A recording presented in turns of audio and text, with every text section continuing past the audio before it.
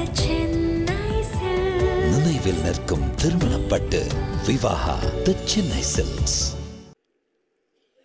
அவனுடைய ரோகிணி லாட்ஜில் இருக்கும்போது ஒரு சிலர் விஜயமாவுடைய போக்கு பிடிக்காமல் எதிரிகள் கல்லெல்லாம் எடுத்து வீசி வீசி பெரிய தகராறு பண்ணாங்க. கேள்விப்பட்டது தான் சந்திரசேகர் அப்போ அபிராமபுரம் நான் தேனாம்பட்டேன் ரெண்டு பேரும் சேர்ந்து உடனே அங்கே போய் நின்றுட்டோம் விஜயமா ரூமுக்கு வெளியே. டவுண்டா அடித்தவன் அப்படி தான் எடுத்த உடனே கேள்வியை. எங்ககிட்ட நல்ல வார்த்தையே வராது வேறு. உடனே என்ன செஞ்சோம்? யார் அடித்தாங்கன்னு தெரிஞ்சது நேரம் அவனுடைய ப்ரெஸ்லேயே போய் அடித்தோம் அவனுடைய ப்ரெஸ்ஸில் போய் அடித்தோம் மாம்பழத்தில். அப்படிப்பட்ட ஒரு ஒரு நட்போடு வாழ்ந்தவர்கள். எனக்கு கால் உடைஞ்சு போச்சு உழவன் மகனில். கால் உடைஞ்ச உடனே என்னால் சரியாக ஃபைட் பண்ண முடியல. அப்போ நின்றுக்கிட்டே செஞ்சு முடிச்சு முடிச்சு கொடுத்துடலான்னு சொல்லி கிளைமேக்ஸ் போயிட்டுவார் சரி நின்றுக்கிட்டே செஞ்சோம்.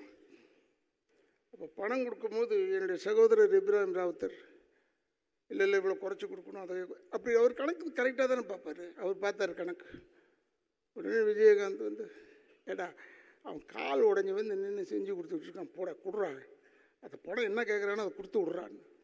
அந்தளவுக்கு ஒரு தாய் உள்ளம் கொண்டவன் சகோதரர் விஜயகாந்த் என்ன பேசி என்ன பிரயோஜனம் இனிமேல் கிடைப்பானா? தெரியவில்லை. ஆனால் நம்மளோடு தான் வாழ்ந்து கொண்டு இருக்கிறான் என்று எனக்கு தெரியும். இப்போ வாழ்ந்துக்கிட்டு இருக்கான். அவனுக்கு குடும்பம்ன்றது ரெண்டாவது பட்சம்.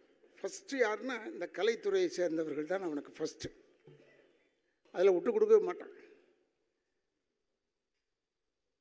எனக்கு உடல்நிலை சரியில்லை அப்போ நான் வாடகை வீட்டுக்கு போயிட்டேன். திடீர்னு பார்த்தா உள்ளே வரும்போதே ஒரு ஃபோர்ஸ் ஒரு காற்று ஜிஸ்கிரு சிங்கம் வந்த மாதிரி இருக்கும். யார் விஜயகாந்த் உள்ளே வரப்புல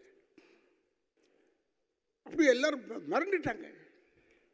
அப்படி ஒரு ஃபோர்ஸ் அவன்.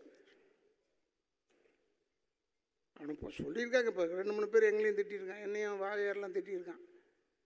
இவங்க தான் இருந்தால் அதை கற்றுக் கொடுத்தாங்க இதை கற்றுக் கொடுத்தாங்க எதுவும் கற்றுக் கொடுக்க வேணாம். எல்லாருக்கும் எல்லாம் தெரியும். யாரும் எதுவும் யாருக்கும் கற்றுக் கொடுக்க வேணாம். ஒன்றே ஒன்று சகோதரர் விஜயகாந்த் உடைய பெருந்தன்மை இதே உழவன் மகனில் அவங்க அப்பாவை அவர் கொண்டுட்டாருன்னு பழி போட்டுருவாங்க. அதுக்கு அழுது நடிக்க வேண்டும். அதை வந்து என்னெல்லாம் ஓரங்கட்டி போய் கூப்பிட்டு போய் இப்படி செய்யலாமடா அப்படி செய்யலாமடா அப்படின்னு ஒரு சின்ன டிஸ்கஷன் வச்ச ஒரு ஹீரோ ஒரே ஆள் யாருன்னா விஜயகாந்த். வேறு யாருமே கிடையாது. நாங்கள் கிண்டல் பண்ணுவோம் சந்தோஷமாக இருப்போம் அது வேறு விஷயம்.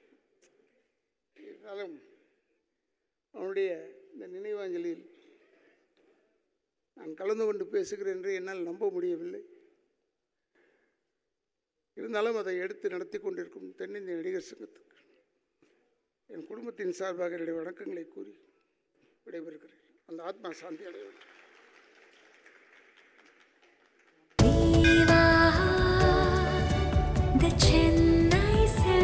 நினைவில் நிற்கும் திருமணப்பட்டு விவாகா தி சென்னை சில்க்ஸ்